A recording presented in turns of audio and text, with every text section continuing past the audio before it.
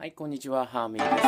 今日は2014年4月10日木曜日です。皆さんはいかがお過ごしでしょうか？今日はですね、えっ、ー、と、ちょっとこの見ていただきたいんですけれども、この後ろにですね、空になったこのステンレスラックがあるので、ここに今ある、ここにあるね、こう服とかを見せる収納、ちょっとやってみようかなと思ってですね、え、100均などに行ってこう収納するためのですねちょっとしたグッズをいろいろ買ってきましたこの、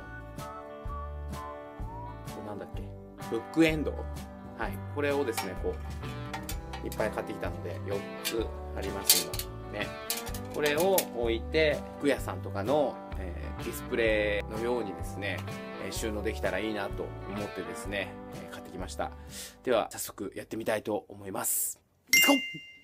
はい。では、早速やっていきたいと思うんですけれども、えまずですね、この棚のところに先ほど買ってきたですね、このブックエンドを、まあ、適当に置いていく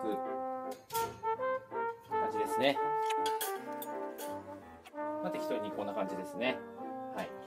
で、ここの間にですね、まあ、T シャツだったり、まあ、いろんな、こうね、衣類をディスプレイするような形で、ここに畳んで入れていきたいと思います。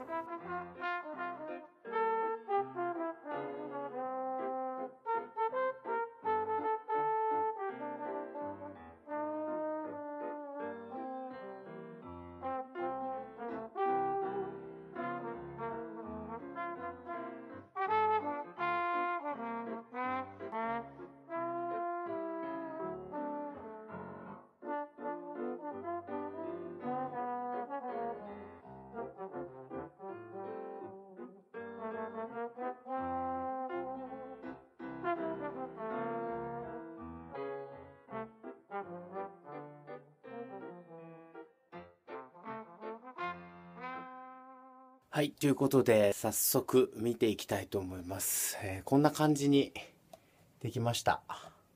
はい。こんな感じですね。結構見せる収納をして、こう、3つぐらいのね、こう、パーツに分けて、ものをこう、並べてみると、結構整理されているように見えると思うんですよね。はい。えー、断捨離を考えていらっしゃる、えー、竹次郎さん。えこのような収納はいかがでしょうか？はい。ではまた会いましょう。ハーミーでした。えハーミービデオブログをご覧の皆さん、こんにちは、ハーミーです。え皆さんはハーミービデオブログチャンネル登録されましたか？え？まだされてないんですか？えハーミービデオブログでは日常でこんなことあるよなということから、こんなところに行ってみたという内容のいろいろなビデオをご用意しております。よろしければ見てください。え皆様からのメッセージもどんどん募集しておりますのでよろしくお願いいたします。ではまた会いましょう。ハミでした。